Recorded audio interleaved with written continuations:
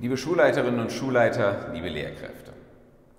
Egal, ob es darum geht, schnell und unkompliziert einen Überblick über die Qualität Ihrer Schule zu erhalten, das Lernen Ihrer Schülerinnen und Schüler zu verbessern oder einfach nur zu erfahren, was den Kindern und Jugendlichen an ihrem Unterricht am meisten gefällt.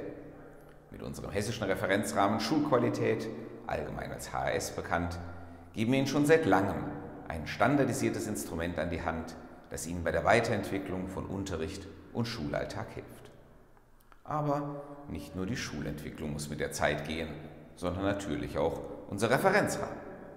In Workshops und Austauschforen mit Lehrkräften und Schulleitungen aus ganz Hessen haben wir in den zurückliegenden Monaten wichtige Erkenntnisse sammeln können, wo beim HS noch Verbesserungspotenzial besteht. Für das Feedback, das wir dort erhalten haben, bin ich allen beteiligten Schulleitungen und Lehrkräften sehr dankbar. In den Workshops wurde deutlich, dass die Inhalte übersichtlicher und die Materialien individueller werden sollen.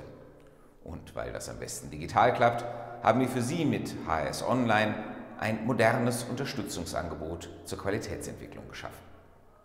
Auf HS Online finden Sie vor allem Videotutorials und leicht handhabbare Anwendungsmaterialien wie Feedbackbögen oder Leitfäden zur schulinternen Evaluation und Bestandsaufnahme. Diese können Sie sowohl am PC als auch auf dem Smartphone oder Tablet nutzen und sie besonders praktisch in Ihre tägliche Arbeit integrieren.